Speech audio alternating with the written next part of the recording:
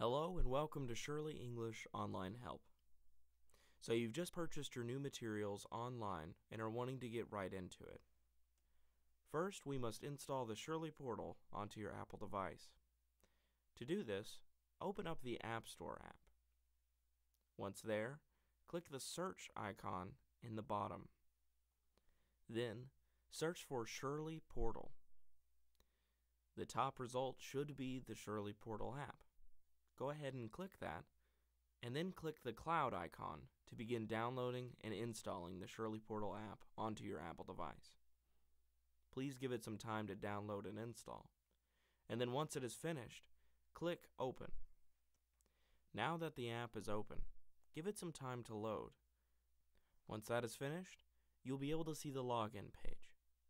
From here, Simply put in your email address and password that you used on our website to purchase your materials. If you have any questions or experience any issues with this process, please feel free to email support at shurley.com.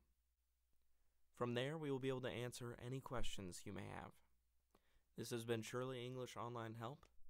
Thank you, and have a wonderful day.